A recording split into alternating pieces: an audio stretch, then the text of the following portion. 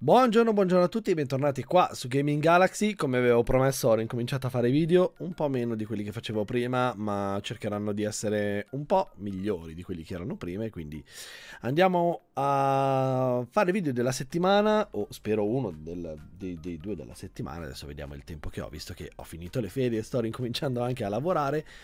Ebbene, è uscita finalmente la roadmap, in realtà è uscita qualche giorno fa, eh, infatti il 17, ma io ero con eh, il mio caro compagno Slade a Milano a girovagarlo e a fargliela vedere.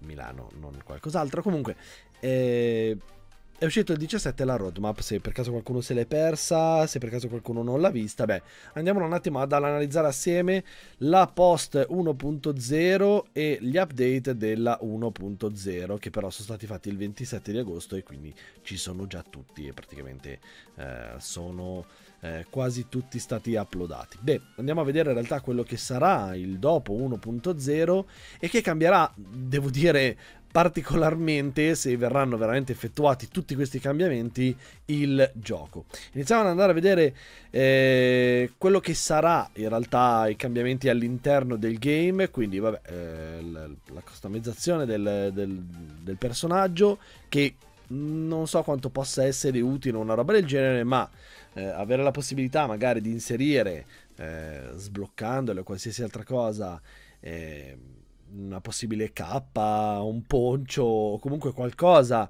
che possiamo rendere unico il nostro eh, cacciatore è sempre ben accetta. Quindi io prometto che questa cosa qua non mi dispiace, la ritengo più o meno inutile, ma so che a molti interessa e quindi può essere eh, una cosa carina da inserire. Salto questo perché ci torno dopo.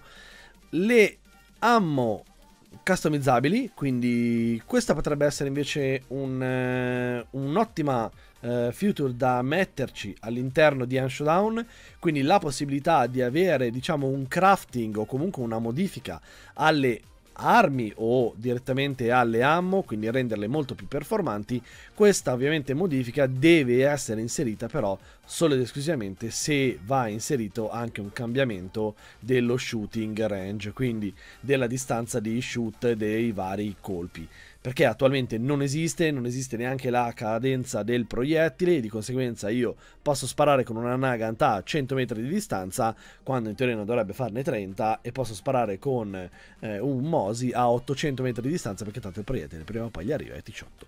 Quindi eh, sicuramente deve essere aggiustato quello che è lo shooting eh, e che in teoria dovevano già aver fatto nella 1.0 ma che ovviamente non funziona e si spera che con una, un'aggiunta delle eh, la possibilità di modificare le proprie ammo eh, si riesca a fare e riescano a inserire questa bellissima opzione. L'hardcore mod invece eh, non so che cosa possono mai inserire nell'hardcore mod l'unica cosa che mi viene in mente da poter inserire come hardcore mod è il fatto che i boss e eh, tutti gli zombie siano tremendamente più difficili da uccidere e che magari abbiano eh, un livello di eh, ingaggio molto molto molto molto superiore. Quindi se io passo a una distanza tale attualmente di fianco a uno zombie senza farmi sgamare in quel caso nell'hardcore mode lo zombie mi sgama a 100 metri di distanza e corre 10 volte più veloce e per ucciderlo non basta un colpo in testa ma ne servono almeno 3 cioè l'unica cosa che mi viene in mente nell'hardcore mode è quella. Non credo che possa essere una cosa diversa, a meno che non aggiungono una, una, una aggiungono il doppio dei player in campo o eh, possano aggiungere una sezione PvE, solo ed esclusivamente PvE, con gli zombie che sembreranno praticamente tutti boss.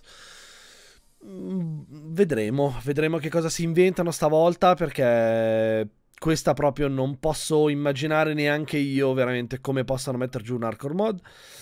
Quello che ed è stato richiesto praticamente fin dall'inizio e che eh, ho mandato un messaggio prima a Slade e se lo leggerà inizierà a saltellare come un deficiente è il dual wielding, quindi la doppia pistola in mano probabilmente lo potranno inserire come tratto perché di sicuro non si potrà mai partire con la doppia pistola però come tratto sicuramente sì. E ho paura, sinceramente io a leggere questa cosa ho paura per un semplice motivo. Avere il dual wielding con eh, magari il fanning con pistole come la chain vuol dire veramente andare in giro con 8 milioni di proiettili a sparare come un deficiente, tanto sono una macchina della morte considerando che continuo a sparare proiettili che non finiranno mai. Eh, non so veramente come prendere questo dual wielding. Spero lo inseriscano in maniera tale che si possa usare solo con determinate pistole e solo con. Eh, con tipo spendendo almeno 15 punti per i tratti per prenderlo. Perché sennò diventa veramente il gioco del dual wielding e rovinerebbe tutto. Quindi. Eh, vedremo anche questo come lo vorranno inserire. Sicuramente faranno qualche live e andrà prima sul test server se lo inseriranno in breve, eh, entro breve, ma eh, vedremo, vedremo, vedremo, vedremo, vedremo.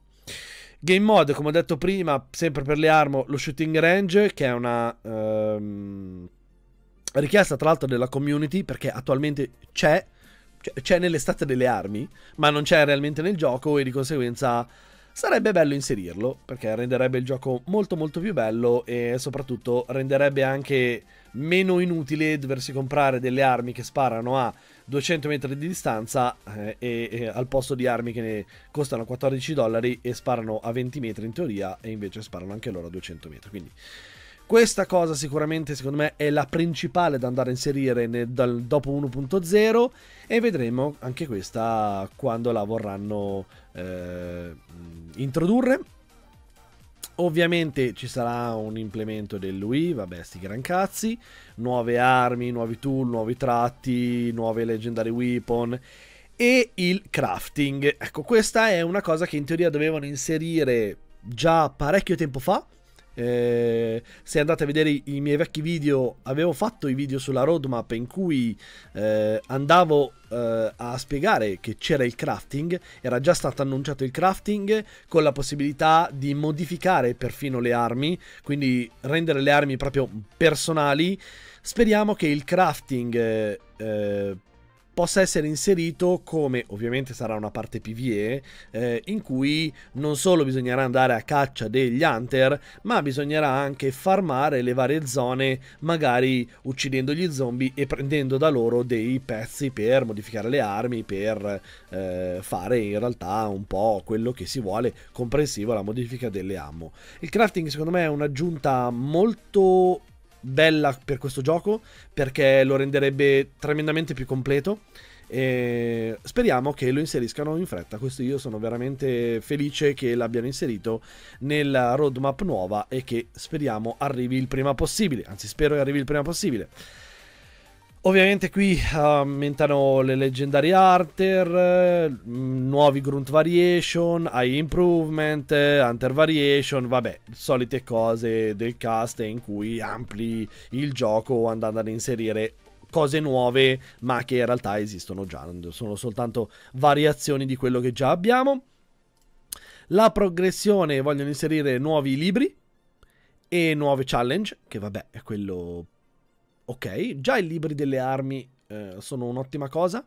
Quindi devo dire che è molto divertente da giocare, più che altro perché devi puntare su quello che vuoi e non tanto continuare a salire di livello, quindi una cosa abbastanza carina, devo dire. Eh, per quanto riguarda l'audio, chiaramente, chiaramente eh, deve essere inserito e deve essere con- costantemente aggiornato l'audio di Anshodan perché è fondamentale. E ultimo, ma non ultimo, e credo che sia la cosa che tutti stiamo aspettando, le custom lobby.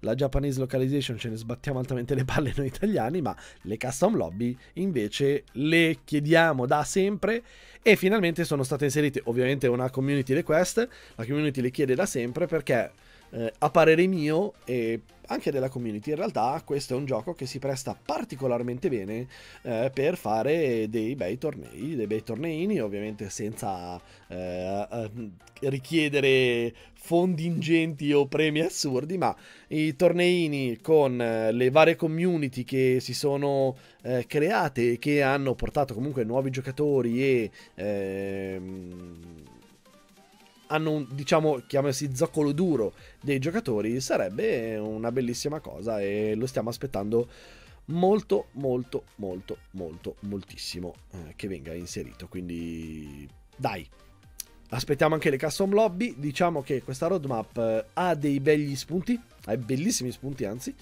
e speriamo che venga fatta il più presto possibile, che la Crytek si dia una cazzosissima mossa. Quindi eh, aspettiamo e vediamo. Con questo, beh, la roadmap in realtà è finita. Fatemi sapere cosa ne pensate, soprattutto di quei due o tre punti che ho discusso un po' di più, quindi dual wielding, eh, la um, shooting range, per quanto riguarda anche il crafting, eh, la creazione delle ammo personalizzate e noi ci vediamo con la prossima news, magari loro, una delle loro live in cui vanno ad inserire qualcosa nel test server e niente. GG a tutti quanti.